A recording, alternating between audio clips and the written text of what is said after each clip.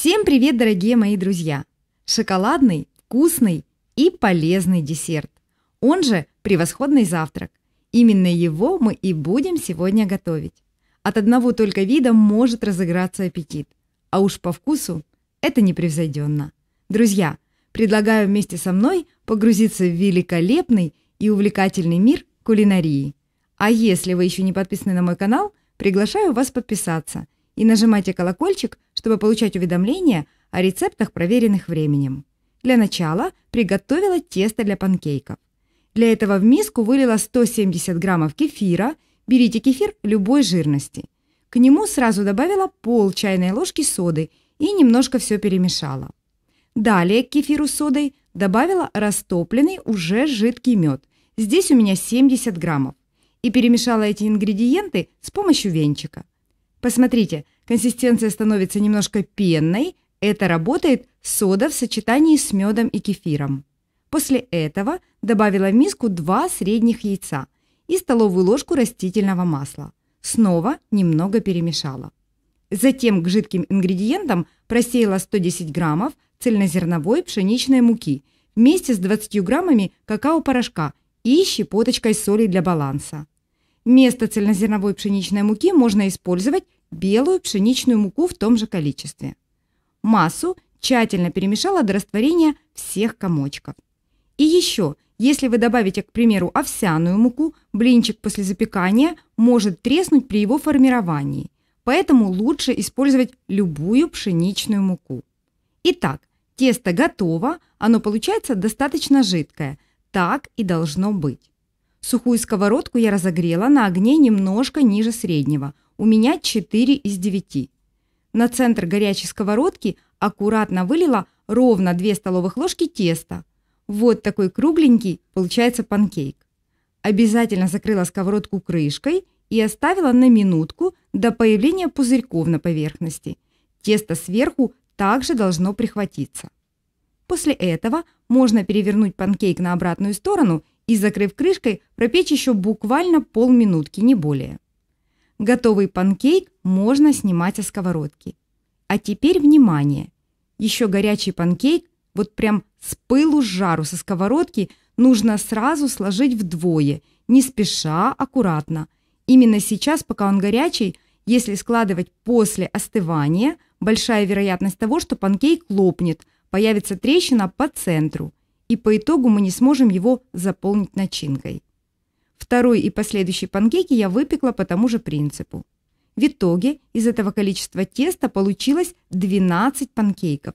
Их диаметр около 10 сантиметров. Как видите, все свои панкейки я сразу сложила вдвое, как уже сказала, еще в горячем виде. Возможно, на каких-то из панкейков есть совсем незначительные трещинки, но они не сквозные, и это абсолютно не страшно. Пока панкейки немножко остынут, я приготовила для них начинку. Для этого количества заготовок в чашу блендера выложила 400 граммов творога.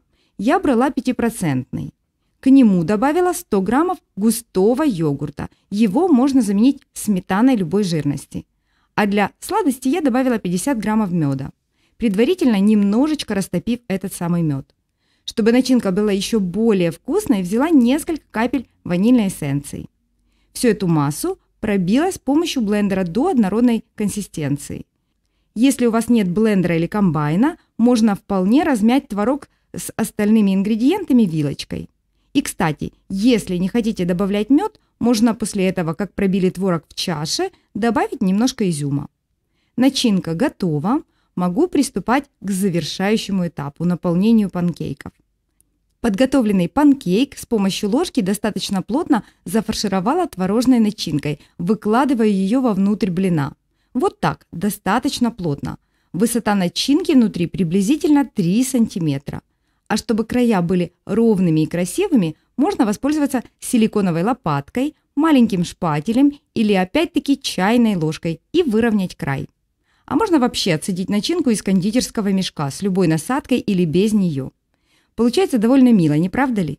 Ну а чтобы сделать такой панкейк еще более привлекательным, творожный его край я просто обваляла в кокосовой стружке. И посмотрите, какая красота! Мне кажется, выглядит очень аппетитно и симпатично. Следующий и остальные панкейки я сформировала таким же образом. На самом деле все это делается очень быстро и не менее просто. По желанию в начинку можно добавить измельченные орешки, кусочки фруктов или ягоды. В общем, здесь можно пофантазировать. В итоге получилось целое большое блюдо великолепного угощения. Такими панкейками можно и друзей угостить, и к завтраку подать, к примеру, в выходной день. А детки такое лакомство съедят с удовольствием, да еще и добавки попросят. Уже проверено. Друзья, это настолько вкусно и оригинально. Мне очень хочется, чтобы вы приготовили такое вот удивительное блюдо. Калорийность этих панкейков вместе с начинкой 192 килокалорий на 100 граммов, а вес одного такого панкейка около 80 граммов. Это 153 килокалорий за штуку. Очень рекомендую вам приготовить и попробовать. Получается невероятно вкусно. С чашечкой любимого напитка м -м, самое то. Буду рада, если вам понравилось это видео и такой рецепт.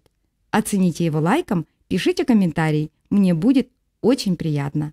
Традиционно хочу пожелать вам стройной фигуры и приятного аппетита. Не прощаюсь с вами, увидимся в следующем видео.